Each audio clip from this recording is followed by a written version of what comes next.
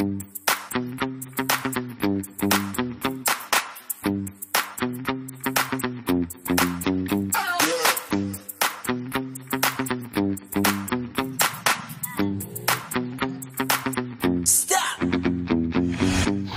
morning mga katindahan! Welcome kayo dito sa RTW ni Madam Claire! So for today's video nga mga katindahan ay pag-uusapan natin itong limang negosyo tips para nga dumami din ang mga customer dyan sa tindahan mo. Very effective ng mga ways na ito mga katindahan dahil subok ko na yan dito sa ating tindahan at yan ngay madalas nating ginagawa. At ito nga mga isi-share ko sa inyo limang negosyo tips dito sa video na ito. Ang number one sa aking listahan mga katindahan ay alamin natin kung ano ba yung pangangailangan talaga ng ating mga customer, hindi ba? Kagaya nga na sinasabi ko sa inyo mga katindahan, hindi nga po pwede na kung ano lang yung gusto natin is yun yung ilalagay natin dyan sa tindahan natin. Halimbawa, mahilig tayo mag-makeup, ganyan, tapos mahilig tayo sa mga fashion na mga dress, ganyan is yun yung ilalagay natin, mga kikay tayo, ganyan. Eh hindi naman lahat ng customer natin ay kikay, hindi naman lahat lang ng customer natin ay mga teenager, hindi ba? So karamihan karamihan sa ating mga customer, lalo na nga dito sa kagaya namin na tindahan na baryo, nasa baryo site tayo, yan, wala tayo sa bayan. So karamihan ng customer natin is mga nanay-nanay na, ganyan. Tapos ano yung pangangailangan ng mga nanay, ano pangangailangan ng mga bata, dalaga, matanda, ganyan. Yung alam mo yung pangkalahatan, hindi yung kung ano lang yung gusto natin. Sabi nga ng isang author na si Seth Godin, yan, don't find customer for your product, find products for your customer. O, di ba? Anong ibig sabihin no? Hindi natin kailangan at iisip tayo ng produkto, ano ba yung pwede ilagay dito, ito kasi yung gusto ko, ay ayoko niyan, baka hindi mabenta. Ganun, hindi ganun. Tayo bibili ng mga paninda. Yung kahit alam naman natin na parang imposibleng mabili, pwedeng pwede natin yung ilagay sa ating tindahan kasi nga hindi naman natin alam kung sino yung nangangailangan ng mga ganiyang panindahan. Gaya na lamang nga nitong tinetesting natin mga katindahan, hindi ba? Clip fan. O, hindi ba? Sinong mag-aakala na paminsan-minsan ay meron din pala naghahanap ng ganitong clip fan, di ba? Kahit nga medyo mahal na yung puhunan niya is talagang kapag kakailangan ng customer ay bibili at bibili. Kaya kailangan nating alamin talaga kung ano yung pangangailangan ng mga customer, hindi yung kung ano lang yung kailangan natin. Eh, grabe, experience na experience ko yan mga katindahan. Kasi nga minsan, may makikita ako sa mga department stores, sa mga supplier, ay baka wala naman bibili niyan, sino naman ang bibili ng ganito, ganyan. Ako, pero nagtinesting ko mga katindahan, eh, eh naku po. Ayan, talaga, may bumili, may bumibili, at may bibili talaga. Yan. Tip number two, mga katindahan, ang magi ko sa inyong pangalawang tip ay be unique be different, ganyan, di ba? Huwag tayong matakot na maging iba sa ibang mga tindahan. Mas matakot na tayo na pare-pareho na tayo ng binibenta. Yung competitor natin dyan, uh, same na, damit, chinelas, plasticware, yan, yan na yung mga tinitinda. Tapos sa kabila, ganun din. Hala, nagayahan na tayong lahat, di ba? Naku, paano na ang competition, di ba? So, kailangan maging unique tayo. Kung an, meron na nga sa kanila nung ganun eh, di, syempre, meron din tayo, di, ibahin pa natin, mas ibahin pa natin, mas pagandahin pa natin yung tindahan natin, mas maging unique pa tayo. Ano ba yung mga pwedeng pakulo na pwede natin gawin, di ba? Monthly, merong dumadating na mga event, kagaya ng nagkaroon ng buwan ng wika, o di ba? Nanahi ang Madam Claire ninyo, di ba? Very unique yun, mga katindahan. Dahil pare-pareho nga halimbawa tayong manininda, pero ang tanong, marunong ba kayo manahi? May makina ba kayo dyan sa inyong tindahan? O di kung wala, paano nalugi na? Di angat na yung tindahan natin, di ba? Kasi tayo nakabenta tayo ng pambuwan ng wika, yung ibang competitor natin, hindi. Kasi kung ano lang nga yung meron sila, damitan, plasticware, ganyan, laruan, very common, di ba? So, kailangan natin maging unique. At ang pangatlo naman, mga katindahan na uh, negosyo tips ko sa inyo is, ayan na nga, ito yung madalas sinasabi ng karamihan ng mga negosyante, mga speaker, ganyan na gawin nating one-stop shop ang ating tindahan. O, ba? Eh, so, ano ba yung one-stop shop? Alam mo yung halos lahat na nga hanapin ng customer ng ating mga suki is halos nandito na sa atin. Ba? Isipin nyo naman, kagaya nga dito sa ating tindahan, may maghanap ng mga ballpen, pentel pen, o eh, may naganap nga ng pentel pen sa'yo, ang tanong, may kulay blue ka ba? May kulay red ka ba? O di ba, baka mamaya, black lang yung available mo, di ba? O halimbawa, uh, sa charger, o yan, kagaya dito sa tindahan natin, meron tayong mga charger. Eh baka mamaya, binibenta mo lang, puro mga micro, pang Android, paano naman yung may mga Type-C, di ba? Paano naman yung mga ang gusto ay fast charger, ang meron lang pala tayo is yung, ano, yung mga ordinary na charger, di ba? Merong gusto ng mura, merong gusto ng mahal. O kailangan almost kompletuhin natin. Hindi naman talaga, hindi naman natin talaga kayang kompletuhin mga katindahan kasi nga, kahit pumunta ka dyan sa SM, mga department store, Unitap, Save More, Gaisano Mall, ganyan, Robinsons, di ba? Wala talagang kumpleto, wala namang halos talagang one-stop shop. Pero, ano yung ibig sabihin ko dito? Ang ibig sabihin dito is halos hanapin ng customer is na ipoprovide natin, di ba? Halimbawa, mga estudyante, kasi karamihan kasi mga estudyante, ang ating mga, ang ating mga magiging customer, di ba? Kasi may, may, may mga project, may mga kailangan sila sa school, kailangan sa pansarili, halimbawa, kulon, o may kulon nga yan, kaya lang, meron silang specific na color na kailangan, di ba? Ang gusto nila pink, kaya ang available lang natin orange, blue, red, ganyan, di ba? Why not na bumili tayo ng, ah, ba, tigagalawa sa isa kulay, tigagalawa. Pag nag-out of stock yan, naku, kailangan tayong refill ng refill pa, para kahit pa paano, yung mga binabalikan ni customer is, di ba, may provide natin, di ba? Mm. Siyempre, para doon sa mga nagsisimula pa lang or magsisimula pa lang is mahirap talaga na kumpletuhin pero pero ang sinasabi ko ang pinupunto ko dito mga katindahan is kahit papaano may naipo-provide tayo kahit pa konti-konti. Kasi kita nyo naman mga katindahan di ba? Diyan kami nagsimula sa as in konti lang mga damit. Nga lang hindi naman to lahat. Ito na agad ng boom na boom agad na ganito eh, di ba?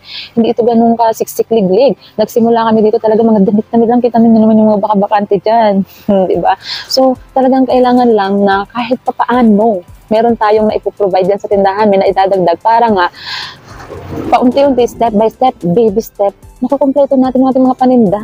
Mm, Di ba? Natadagdagan, kumbaga.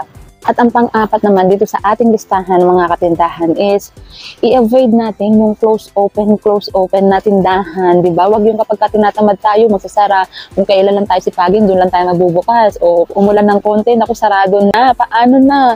Paano na yung ating mga customer, di ba, na, na meron silang pangailangan, tapos eh, sarado tayo, paano na, di ba? So, i-avoid natin talaga yung sara, bukas, sara, bukas, sara. Kasi, syempre, yung mga tao, pagka na isip nila na, ay, lagi naman yung sarado. Pag pupunta ako, sarado, ganyan. Eh, di syempre, lilipat ng tindahan yan. Lilipat yan doon sa kung saan sila mas magiging convenient na, eh, dito, lagi na nga itong bukas, kompleto pa halos. Diba? Lahat ng, ng hanapin mo. Kahit hindi naman lahat, pero, diba, kahit papaano, compare naman dito sa kabila na palaging sarado, di ba? Baga, kung halimbawang may time, hindi naman may iwasan na may time na may, na mag, may sarado moment tayo, pero yung, alam mo yung reasonable naman, yung halimbawa, yung talaga sobrang bagyuhan na, yung tipong hindi mo na pwedeng buksan yung tindahan dahil lilipad-lipad na, yung mga panara, ganyan, di ba? Kaya, syempre, pag minsan-minsan may, may birthday yan, di ba? Birthday ni mother, birthday ni baby, birthday ni hubby, di ba? Hindi kailangan lahat ay magsasarado ka. Yung talagang importanteng importante lang, yung kailangan mo lang na, na dadaluhan mo, di ba? Very rare talaga kami magsara kasi, bawa may pupuntahan kami mga birthday yan, uh, mini-make sure namin na yung store is nakabukas pa rin, may nagbabantay dito kagaya ng kapatid ni Angelo, ay, kapatid ni Mr. ko, si Mama Tina, ganyan. Ganyan. So, minsan sila yung nag-ooperate dito sa tindahan, sila yung nagbubukas ng tindahan para kahit paano mga customer talaga is wala man kami dito, is mabibilhan sila. Di ba? And last but not the least, mga katindahan na, may, na maibibigay ko sa inyong tip na nandito sa ating listahan is, ito mga katindahan na nakakatuwa to. Gustong gusto ko to, the power of one. Mm. Ano ibig sabihin nito? Focus tayo sa goal. Focus tayo sa isa lang. Di ba nakita ninyo mga katindahan dito? Meron kaming tindahan. Mm. Alam niyo mga katindahan yung naging sikreto talaga namin kung bakit ito mabilis natin na napapalago, bakit marami yung ating customer, parami ng parami yung ating customer, ay dahil nakafocus lang kami sa isa. Itong tindahan na ito, hindi namin para mag hanap ng ibang pwesto na, na 'di ba kadalasan is parang hanap tayo ng another pwesto para doon magpwesto ang kaso mo doon, sino magbabantay, sino magmamanage, paano, medyo mahirap kasi yun mga katindahan. Pero kung kaya naman, kung may magbabantay naman, why not? Pero kung tingin mo, mahirapan kayo in the future na kung mag-focus na lang tayo dito sa tindahan natin, palawakin natin, paramihin, palaguin, di ba? Para hindi magugulo dahil nagsisimula pa lang naman tayo eh, 'di ba? Siguro kapag ka yung pera natin ay nalalaglag na sa bulsa, 'di ba? Na talagang hindi na natin mahawakan yung ating kayamanan sa buhay, ganyan. Kung ganun na yung kaperahan natin, pwede na tayong mag magkaroon ng ibang pwesto, pwede na tayong magkaroon mag-open ng ng ibang location, ganyan, di ba? Pero sa ngayon nga, dahil syempre nagpapalakas pa lang naman tayo, nagpaparami pa lang tayo, is focus, focus lang muna tayo dito sa isa, di ba? Kagaya namin ni Mr. ko, hindi kami naghihiwalay, talagang join force kami dito sa tindahan, tulungan kami dito, talagang focus kami dito sa tindahan. Kasi kapag ka kasi lumayo kami, naghiwalay pa kami ng pwesto, ganyan, is maaaring mahirapan ng isa sa amin, maaaring maapektuhan itong tindahan. Unlike na dito, talaga pinagsasama namin lahat ng lakas, pinagsasama-sama namin lahat ng energy namin dito, talagang ang goal namin ay palakasin itong tindahan na ito. Kita ninyo naman, meron tayong printing services. Yan, nandyan, meron tayong mga ah, cellphone repair. ba? Ngayon, bumibili na rin kami ng silang cellphone para pagka may silang cellphone, i-repair ng mister ko, o di, may bebenta namin, di ba? Buy and sell ng cellphone. Tapos, paparenta kami ng gown. Pwede ako mag-hair and makeup service. O di ba? Naglo-load, nag-gcash. Lahat ng, lahat ng kaya namin gawin dito sa tindahan is pinapasok namin dito lahat para yung income is dito lang din. Pero kung ganito nga na nagsisimula pa lang naman tayo, di ba? Ah, gusto pa natin na paramihin pa yung ating mga customer, mag-focus muna tayo sa isa. Focus lang tayo kung ano yung nasimulan natin, di ba? And shout out nga pala kay Madam Rachel Hasim. Hello ma'am, good morning. Bagong kaibigan pa. Shout out po watching from Saudi Arabia.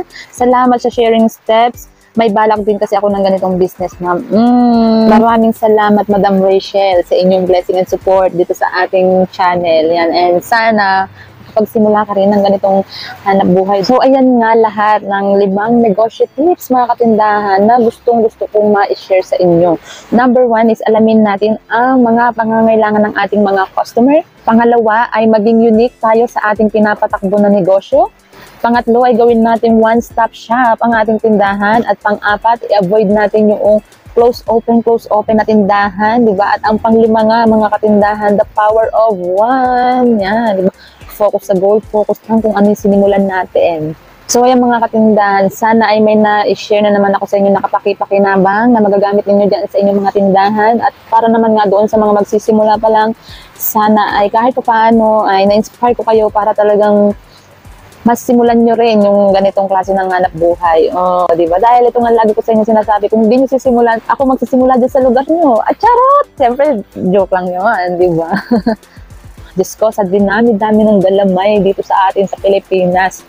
Kahit siguro SM hindi kaya talagang, di ba, kahit talaga, kahit mga SM, department store, kung ano man yan, ako hindi talaga kakayanin, kaya magsimula ka na dyan.